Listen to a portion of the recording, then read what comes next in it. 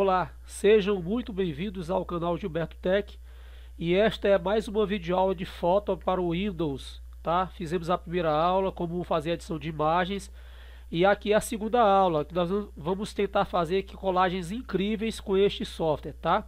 Então com ele aqui aberto você vai em colagem, tá? E aqui em colagem você vai selecionar é, as colagens que você quer fazer, os layouts que o software disponibiliza com relação às colagens, tá? Primeiro eu vou adicionar as fotos, tá? Eu vou adicionar fotos aqui. Eu tenho algumas fotos aqui para adicionar. E eu tenho aqui diversas fotos, tá? Então eu posso só clicando e arrastando e vou automaticamente adicionando, tá? Então olha só, aqui eu vou selecionar dois, então eu tenho essas duas possibilidades, só duas fotos nessa colagem, tá? Mas eu posso também colocar três, tá? Aí nesse caso eu vou precisar de mais uma foto. E aí eu posso já colocar mais outra arrastando e colocando aqui, tá? Então existem várias possibilidades aí de fazer essas fotos, tá? Aí vai ficar a critério de vocês. Eu posso também colocar quatro aqui, ó, tá? Aí você vai escolhendo a quantidade aqui, tá bom? Olha, quatro, tá? E aí essa aqui eu vou arrastar, já vai fazer mais uma. Então são aqui uma foto colagem com quatro fotos. E assim por diante, pode ser com cinco, por exemplo, aí vai ficar faltando porque só tem quatro fotos. Aí você vai escolher a quantidade de fotos que você quer.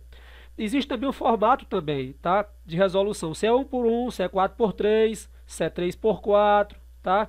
E aí você pode selecionar se é, é 16 por 9, tá? Aí você vai selecionando o formato também é, da imagem que será salva é, da, da montagem da colagem, melhor dizendo. Você poderá selecionar o formato de saída, a resolução de saída da colagem a ser criada, tá bom? É, feito isso aqui, eu ainda posso trabalhar algumas questões aqui. Por exemplo, aqui, ó, eu posso é, trabalhar as bordas, que eu posso deixar sombra, olha aqui, ó, sombra na, na, na, entre as fotos, tá? Aqui eu posso trabalhar o espaçamento das fotos na colagem, tá? E aqui eu posso deixar é, as fotos da, cola da, da, dessa colagem com com as pontas arredondadas, ou quadradas ou arredondadas. Aí você que vai escolher aqui. Aqui eu posso escolher as cores. Você pode selecionar essas cores também. E aqui existem as texturas que você pode, pode colocar por baixo dessa colagem. Olha só como fica legal essas texturas assim, olha. Que bacana. Tá? É realmente uma coisa incrível esse software, tá? Eu gosto muito dele é um software incrível, tá? E aí eu posso fazer também o freestyle, tá? Onde, onde eu posso arrastar, fazer manualmente, puxando a foto para cá, uma foto para lá, e você vai fazer do jeito que você quiser essa montagem, essa colagem, tá bom?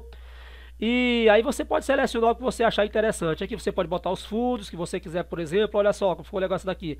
Essa aqui é para para mais para criança, para festinha, para aniversário e tudo mais, tá? Olha só essa daqui. Olha só outra. Olha para a criança também aqui, essa daqui, ó. Tá? Então você pode escolher aqui outras texturas também que você pode colocar. Texturas assim diferentes, tá? Certo? É realmente uma coisa incrível esse software. Eu gosto muito dele para fazer montagem de fotos. E aqui nós vamos exportar. Deixa eu só selecionar uma, é, uma coisa mais legal aqui, para ficar mais bacana. Tá, vou selecionar, eu gostei muito deixar essa cor assim, esse daqui, coloridozinho assim, achei legal, colorido assim. E aqui, eu vou deixar dessa forma aqui, tá? O que, que eu vou fazer agora? Agora eu vou exportar, tá? Exporte, você vai compartilhar no Facebook ou salvar no seu computador. O procedimento é aquele que nós fizemos é, na aula, na primeira aula de foto, tá? E aqui eu vou colocar aqui, montar, é, foto colagem. Foto colagem, tá? Vou deixar JPEG mesmo, aqui eu vou deixar como de padrão 1280, certo? Por 720.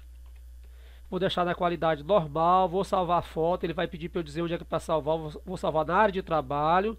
Vou clicar em salvar, já salvei, coisa rápida. Vou minimizar e vou ver lá a colagem que eu fiz. Olha só a colagem que eu fiz, a montagem. É isso aí, pessoal. Valeu e até a próxima aula.